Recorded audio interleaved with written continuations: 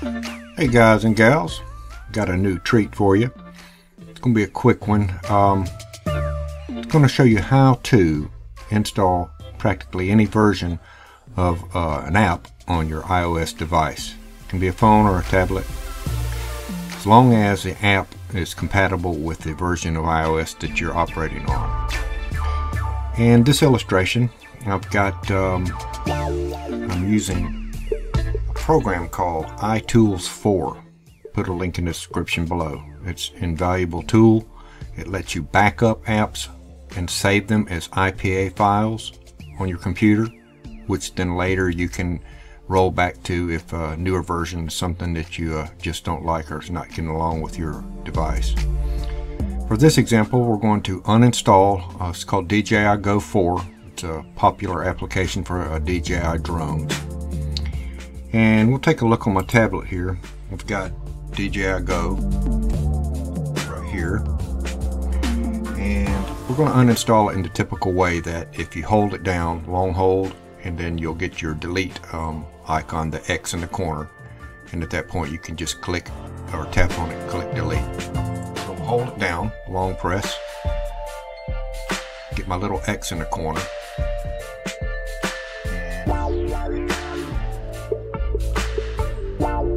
Touch delete and it's removed it from my tablet.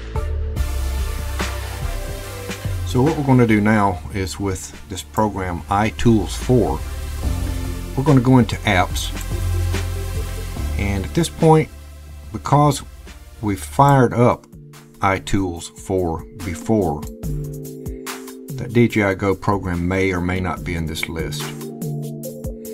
Okay, it looks like it's not in our list. This is all the programs that are installed on our tablet. You can refresh if you need to, if you've made any changes before entering into iTools.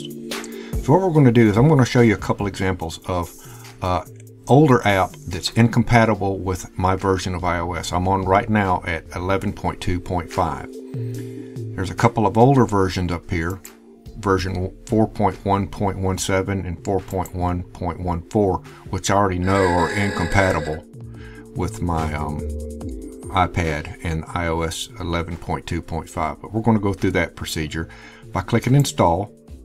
And I'm going to browse for one that's an older version.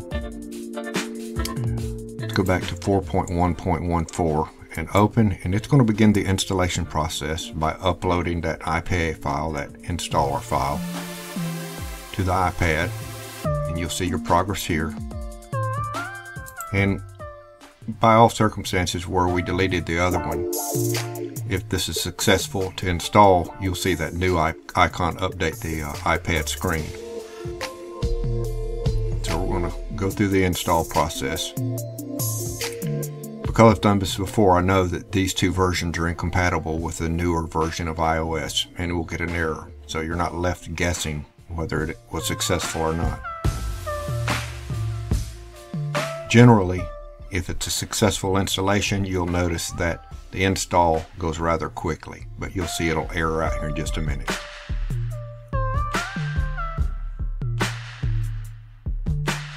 Okay, said API internal error, just to indicate that this version 1.14 or 4.1.14 was incompatible with the newer version of iOS. So we're going to go ahead, since it's selected, we're going to delete it. Although it wasn't installed, it's in our list of apps that we've installed. So I'm going to uninstall that. Enter OK. I'll go ahead and refresh. And then what I'm going to do is I'm going to install a version that I like, this 1. Point, or 4.1.18. And so I'm going to click install. I'm going to browse to that one. Select it. And it's going to do the same thing that we saw before where it begins to upload that IPA file. And it'll upload it onto your tablet. You'll need to be tethered obviously with your uh, lightning cable to a USB device so that this information this IPA, IPA installer can be sent to your computer great program. It does a lot more than just backup. Also copy any of your programs you've got off and save them as an IPA file, which is a really good thing because you know, you may have a version that you prefer, and if you get an update, um, some features are not functioning the way you like or uh, misbehaving or you just preferred the older version as long as you go in and make backups of each of the IPA files then you can go back anytime and change versions so we're looking at about 99% done we'll take a look here and there we go we see that it just installed the DJI Go 4 app and if I refresh here you can see we're at version 4.1.18, just like what we chose. Now, if I wanted to, this is the most recent version, 4.2.4. Same procedure. I can select in a checkbox here, uninstall it, enter OK. It's going to remove that from my iPad also. Completely removed. So we'll go ahead for this example again, and we're going to take and install the 4.2.4 by clicking install, searching for it, 4.2.4, click open, and it's going to install that. Same procedure. I know that I've got 4.2.4, 4.1.2, 4.1.18 are all compatible with the latest iOS 11.2.5. Now these would have been more suitable for an earlier version of iOS like 11.2 or uh, uh, any of the derivatives of the 10s, 10 iOS 10. We're about 50% here and once it's successful we're going to see it populate our iPad's desktop or pad top. It's still doing its uploading when we get done here, I'll show you how to do a backup. Like I was talking about earlier, it's very handy just to create a folder on your computer. And as new versions come along, just uh, go to the App Store, install them, and then make a backup copy and just keep uh, several varieties of different revisions on your computer rather than be stuck with the one that you've got. So it's just about done, 99%, 100% preparing and you'll see it show up on the iPad here shortly. There we go. I'll go ahead and open it just so you can see. And there we go, the latest, most current ones. Now, when you do make backups of these or install them fresh, they do not retain any settings that you have or any tweaks that you've made to them. These are just like an install for the first time from the App Store, with the exception that if you already have an app installed where you've installed all of your settings or special tweaks that you may be accustomed to, if you do install a new version, a more recent version over one that's already installed through the program iTools 4, you will retain your settings. It's just if you do not have it installed already and then you install it, no settings will be retained from a previous installation. So you can see it's fully functional. I'm not going to go in because I uh, just installed this. I'm not going to go in and, and enter in and log in and all that whatnot.